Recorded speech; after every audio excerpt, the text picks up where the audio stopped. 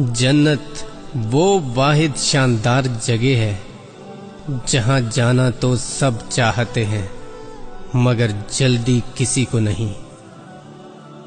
जो जात रात को दरख्तों पर बैठे परिंदों को नींद में गिरने नहीं देती, वो जात इंसान को कैसे बेयारो मददगार छोड़ सकती है?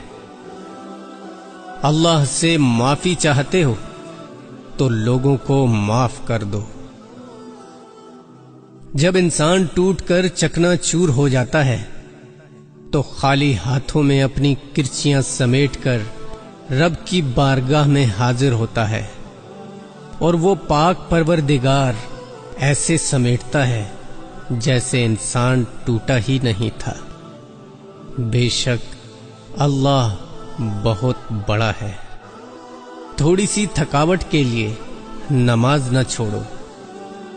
उनसे कुछ सीखो जिन्होंने जिसम पर खंजर होते हुए भी आखिरी सजदा नहीं छोड़ा।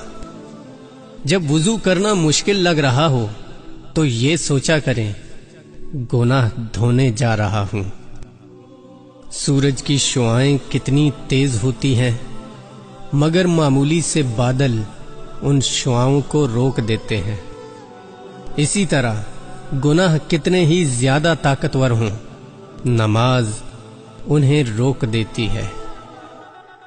लोगों से डरना छोड़ दो, इज़्ज़त अल्लाह देता है, लोग नहीं।